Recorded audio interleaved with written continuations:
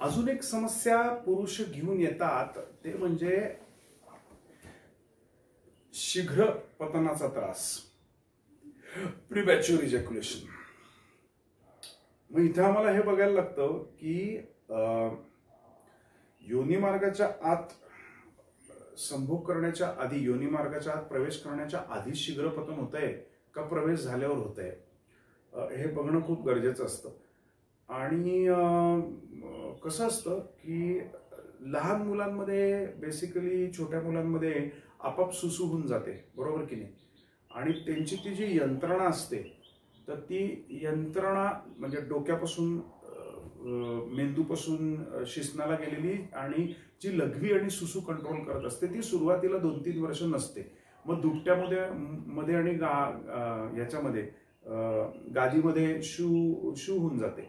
मग हळूहळू हळूहळू ती यंत्रणा निर्माण होते आणि ती पॉवर सेल्फ कंट्रोलची निर्माण होते. बरोबर की नाही?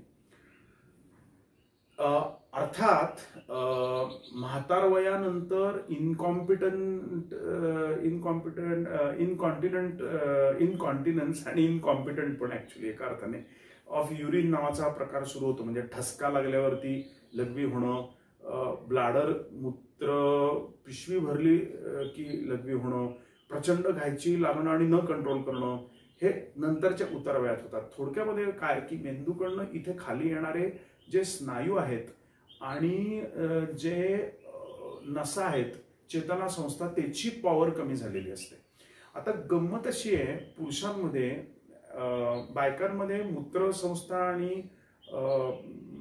गर्भाशयाची संस्था जनन संस्था हे जवळजवळ शेजारी असतात आणि कंट्रोलही बऱ्यापैकी कॉमन असतो. पण पुरुषांमध्ये तर असं आहे की ज्या मार्गातनं लघवी येते त्याच मार्गातनं वीर बाहेर येत असतं. त्यामुळे एक्झॅक्टली लहान बाळाचं जसं होतं की तसंच काहीसं होतं की वीरचं पतन कंट्रोल नाही करतायत यथाशक्ती यथेच्छ बाहेर नाही सोडतायत मग आम्हाला हे बघ- म- बघायला लागतं की मेंदूपासून मनात काही प्रॉब्लेम्स आहेत का? मेंदूत काही प्रॉब्लेम्स आहेत का? पासून ते मणक्यामध्ये आणि तिथे खाली जाणाऱ्या ज्या सेक्रल आउटफ्लो ऑफ नर्व्स म्हणतो आम्ही किंवा त्याला नर्वी एरिगेंटिस म्हणतात किंवा हे काय बरं त्याला म्हणतात हा प्युडेंडल नर्व असं त्याचं नाव आहे म्हणजे जेनायटल नर्व्स ज्या सप्लाइंग द जेनायटल ॲपरेटस तर त्याला काही प्रॉब्लेम आहे का? हे सगळं बघायला लागतं. आणि मग ती बळकटी कशी मिळवायची स्नायूंची आणि त्या नसांची हे बघणं खूप क्रमप्राप्त असतं.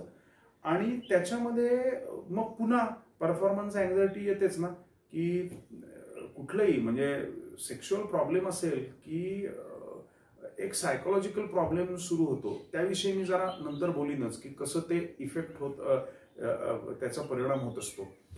आणि मग शीघ्र पतन होत असताना सुद्धा पुन्हा पार्टनरला तुम्ही मग सॅटिस्फाय कसं कराल? पार्टनरमध्ये पतन होत असतं का नाही? फिमेल्समध्ये काही इजॅक्युलेशन नावाचा प्रकार आहे का नाही?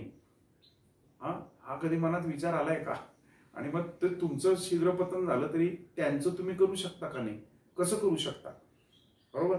मग त्याला बऱ्याचशा काही आपल्याला टॉयलेट ट्रेनिंग जसं असतं तसं सिमेंट कंट्रोल ट्रेनिंग नावाचा प्रकार आहे. ओके ते ट्रेनिंग आम्ही देतो. गोळ्या औषधं कधी कधी देतो काउन्सिलिंग करतो.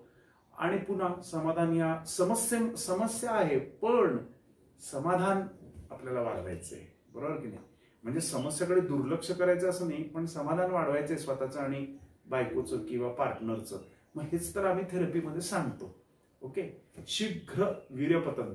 शीघ्र कवी असलेल्या लोकांना आवडतं अरे काय? शीघ्र बाकीच्या गोष्टी शीघ्र झाल्या पाहिजेत. गाडी शीघ्र गेली पाहिजे. राजधानी एक्सप्रेस सारखी कामं उरकली पाहिजेत कामाचा उरक पाहिजे सगळा. मग हे सगळं शीघ्रच हवं. सक्सेस शीघ्र मिळायला पाहिजे पॉप्युलॅरिटी पॉवर पैसा शीघ्र मिळायला पाहिजे. पण पतन मात्र शीघ्र होता कामा नये ते यथाशक्ती पाहिजे तेव्हा धीरे धीरे धीमे धीमे झालं पाहिजे. हो की नाही? असंच वाटतं की नाही? मग त्याच्यावरतीच तर इलाज करायला बसलोय आम्ही.